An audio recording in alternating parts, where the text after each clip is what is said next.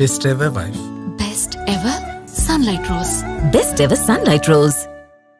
ක්‍රීඩා අමාත්‍ය රොෂාන් රණසිංහ මහතාගෙන් රුපියල් කෝටි දෙසිය හතලියක වන්දයකිල්ලා කොළඹ දිසා අධිකරණය හමුවේ අපහස නඩුවක් ගොනු කළ බව ශ්‍ර ලංකා ක්‍රිකට් ආයතනය පවසනවා.